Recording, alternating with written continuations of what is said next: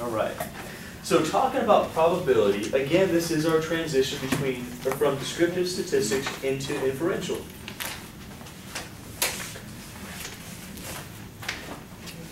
So we're talking about probabilities. this is chapter four.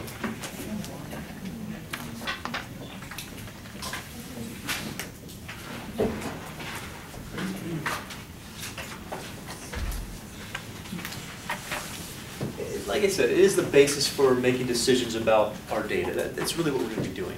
And it's based on this idea. If something has a low probability, that means its occurrence is going to be rare. So if something has a low chance of happening, you say it's probably not going to happen. That, that's really the whole idea here. I mean, it might be an obvious statement, but what we're going to think of it is low probability means rare or unusual occurrences.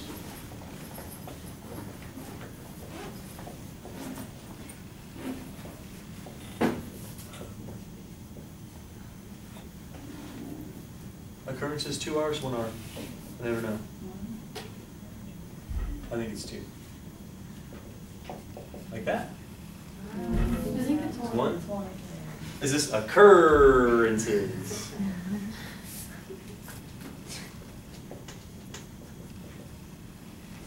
One R, you were right, whatever. And there's some vocabulary that we do need to talk about. Speaking of vocabulary, there's some vocabulary that we need to talk about as well before we get going on exactly what probability is going to be in relation to this class.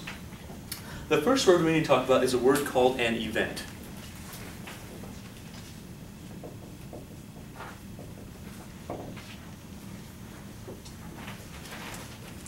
Event in statistics doesn't mean event like in, in English. Uh, in English, an event means you're having like a party or something. That's our event. Here, that's not what it means. Uh, what event means for us is a collection of outcomes of a procedure. So an event is what you get from a procedure. Now, I'll explain this and give you examples in just a minute. So event, it's a collection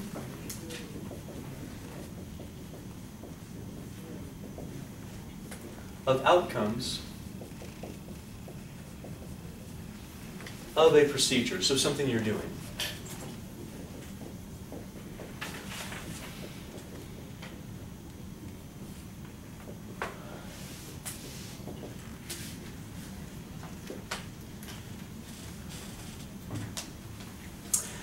We also have another couple words. We have something called a simple event.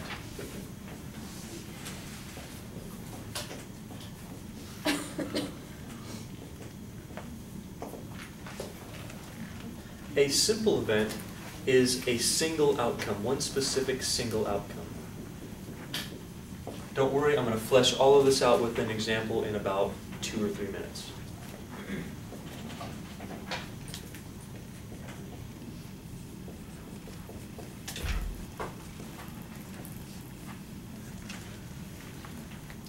Last word, we have something called a sample space.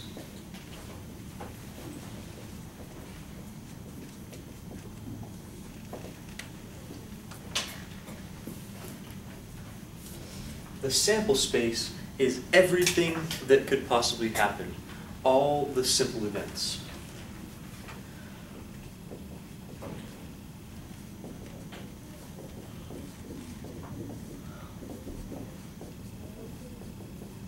So all simple events, in other words, every possible outcome.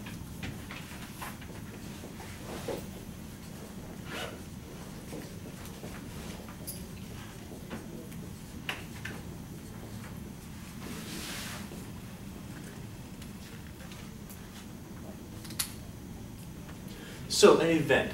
Event is something that can happen when you do a procedure. Procedures such as rolling a die, flipping a coin, something that involves some chance in there. A simple event is one specific outcome that, that you can get. Uh, the sample space is everything that you could possibly get from flipping the coin or rolling the die. So let me give you an example. We'll talk about flipping a coin, and we'll, we'll identify some events and some simple events, and then the sample space. Would you like to do that and kind of get an idea about what this stuff actually means? So let's go ahead, and our example would be flipping a coin.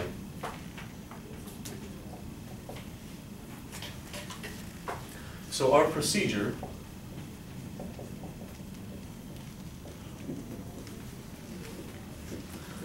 we're gonna flip a coin one time. So you're gonna take a coin out of your pocket, you're gonna flip it, and you're done.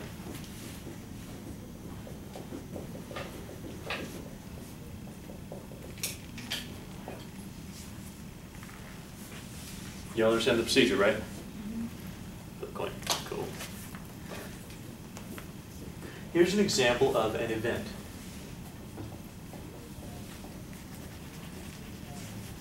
An event could be, what can you get out of the coin?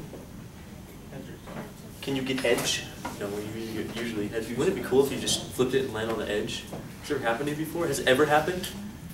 I, what if it's happened to somebody before? Well, maybe if you had like a edge of a coin that's like that wide, it could probably happen. But like with a quarter or something, I, it's really rare that that's ever going to happen. I, I don't know if it ever has.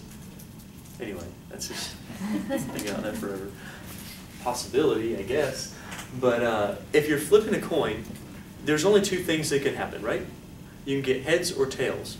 When you're talking about an event, you're specifying one thing that could happen and what you're looking for. So an example of an event in this case would be you're looking to, for how many heads you get. So an event, an example of an event would be head. Flipping a head.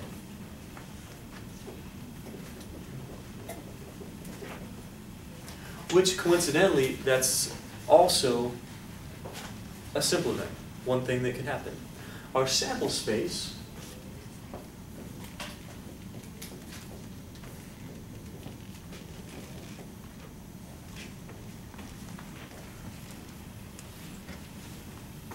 includes every possible outcome you can get when you do your procedure. Now, our procedure is flipping a coin how many times?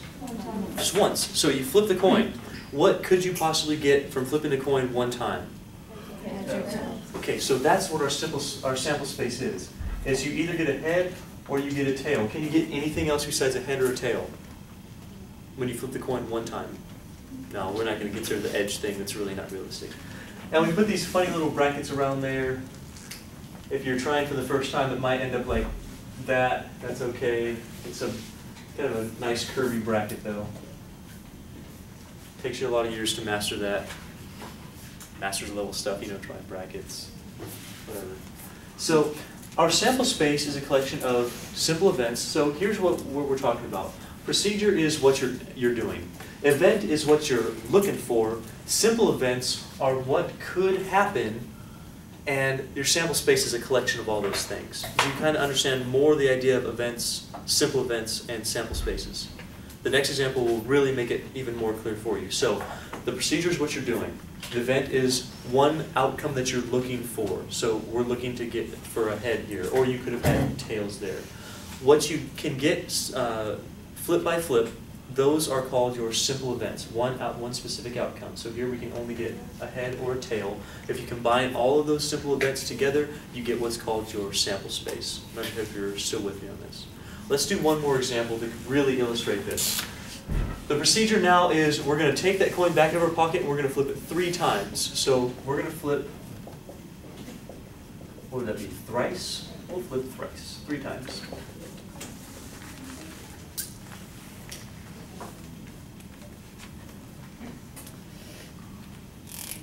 If you flip a coin three times, what could you get? Well, you get heads or tails for the first one, right? But then you flip it again. What could you get out of that one? Okay, then you flip it again. What should you get out of that one? So, an event is like this. An event says, what, what possible combinations could you have? Those would be considered our events. So one event would be, I'm looking for one head and two tails. That's an example of an event. One specific outcome of your, your procedure. Does that make sense to you? So this says, okay, one thing that could happen here is I get a head and two tails.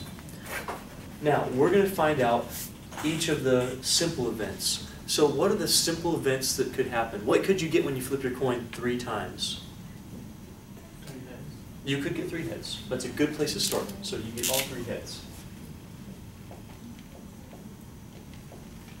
Head, head, head. What else could you get? What no? You get tails reduced. You get tails three times, okay, that, maybe put that down here. That could happen, right? These right now, what we're finding, these are simple events, they're single outcomes that we can get from flipping a coin three times. Can we get just a single head? Not if you, well, I'm sorry, can you get just a single head and no tails? Not if you're flipping it three times, right? You're gonna get three distinct things that happen, a head, a head, and a head.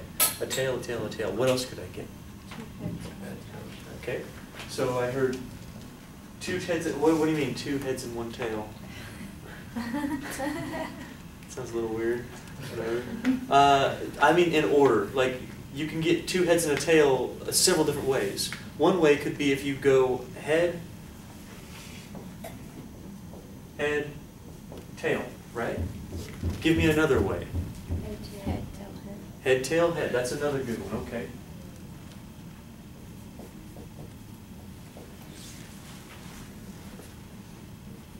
What about another one? Tail head, head. Tail.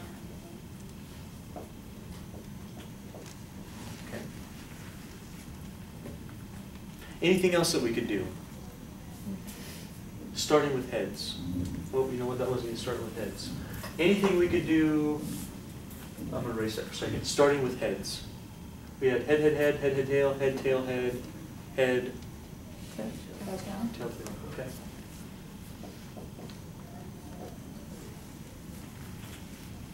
So these are all this, all simple events starting with heads. We could do head, head, head, head, head, tail, head, tail, head, head, tail, tail. Let's do the tail ones. We could have tail, tail, tail. Give me some other things that we could have here.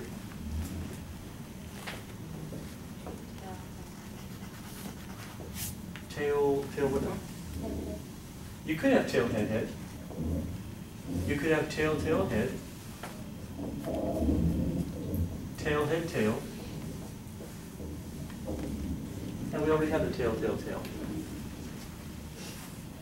Would you look that over? Did I miss any? Did I miss any possible outcomes we could get?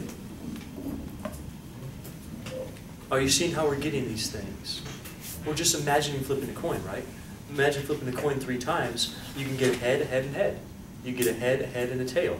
It's easiest to do it that way, well, for me, to, to sit there and think of all the heads and then think of all the ways you can have a head first. It'd be head, head, head.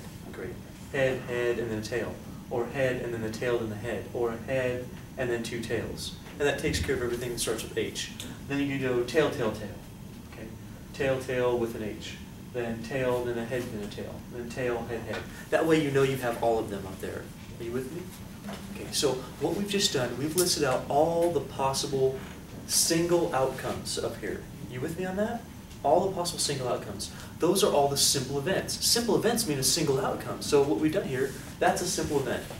That's a simple event, and so are the rest of these. All eight of these things are called simple events. If I group them all together like I've done, what we have is called the sample space. The sample space is a collection of everything that could possibly happen. Raise your hand if you're with me on that. Okay. Now, let me, because uh, the biggest thing for people is like, well, what's the difference between a simple event and an event?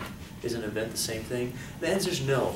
An event is, it doesn't matter how you get it, that's what I'm looking for. So, for instance, our procedure is flipping a head, or uh, flipping a coin three times. Our event we're looking for is getting one head and two tails. That's one of the things that we could get flipping a coin three times, right? That's just one of the things we could get. Here is all of our possible simple events or